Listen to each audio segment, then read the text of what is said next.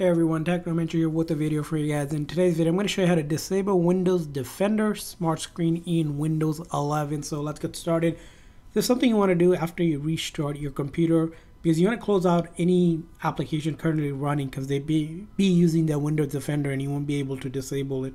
For do that, or you can also do a search up first thing is Task Manager. So in the search over here, you're going to search up Task Manager and then look for any processes that says Windows Defender that could be using Windows Defender.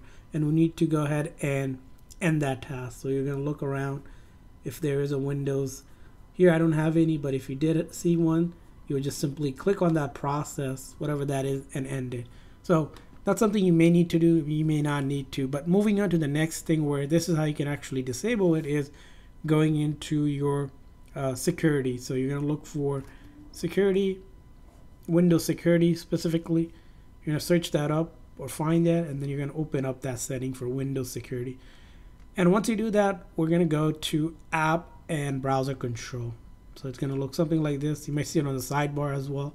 And there's two different options you want to go ahead and do that where it says reputation based protection setting. We're going to click on that. And then these two, the settings are for the Windows Defender Smart Screen. The first one is check apps, so we want to turn that off.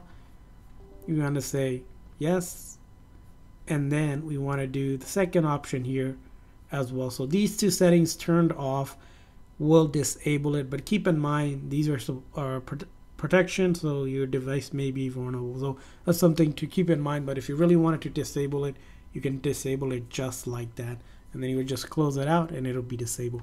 So that's how you do it. I hope this video was helpful. If so, please consider a like and subscribe button for more tips and tricks. We'll see you guys next time.